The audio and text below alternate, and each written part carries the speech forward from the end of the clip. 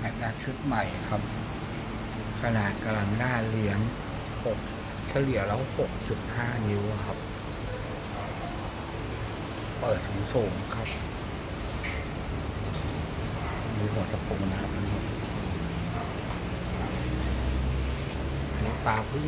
ลงได้ไม่ถึงห้านาทีนะครับ น้ำมันก็พุ่งเลย